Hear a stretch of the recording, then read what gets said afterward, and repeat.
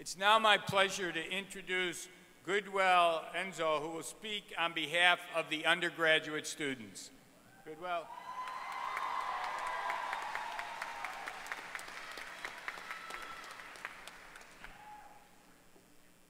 Well, I hope you guys are not going to be tweeting today about how he butchered my last name, but um, it's all right. He's my friend. Don't do that, okay?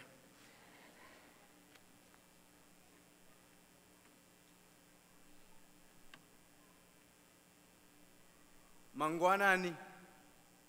Buenos dias. Good morning. Mr. President, let me begin uh, with a few words of gratitude. We, the class of 2015, will receive our diplomas in a few moments, and thanks to dozens of people whose efforts we need to acknowledge. The professors, whose, the professors who, put, who put up with us when we were half asleep and when we were answering big global questions in research. The administrators to whom we complained regularly the board of trustees who raised money for the facilities without which we would not be here today, the secretaries who saved us from, from sloppy paperwork, the maintenance workers who indulged in our messes, campus safety for keeping us safe even when we did not want to be safe. Hashtag Podcacrow. Shout out to Tammy out there. And most importantly today, families and friends. And since this is Mother's Day, special thanks to the mothers who are here today and those who are not, including mine. But my American mother is here today. Thanks, Mai Huku.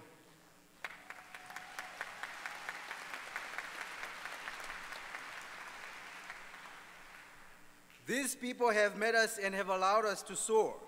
And on behalf of the entire class of 2015, thank you.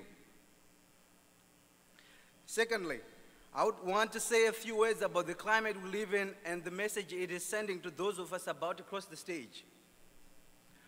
I was born in a, in a very remote village in Zimbabwe. And when I was 11 years old, I was bitten by a very poisonous snake.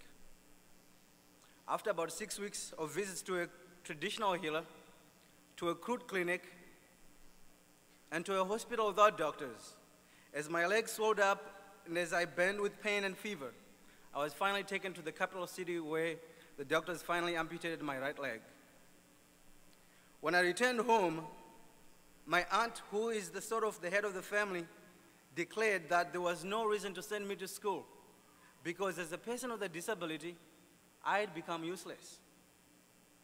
Something parallel is happening today in America.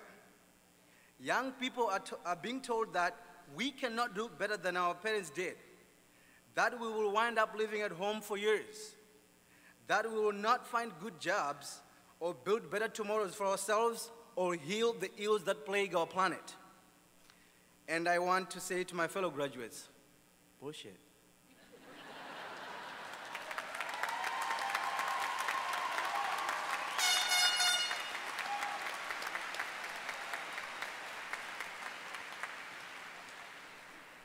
When my aunt told me I had no future, something snapped in my brain.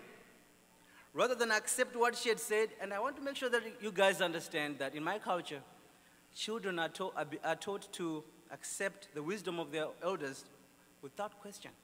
So when my aunt declared that I, I had become useless, I said to myself, no, I am not useless. I will succeed. And by working as hard as I could, by keeping my eye on, on my goals, and by giving myself no excuses. I did. I did. I surmounted a disability, a family of subsistence farmers without, with no understanding of the importance of education, extreme poverty, and a country with the world's highest rate of inflation of about 660 million percent. And here I am today on this stage.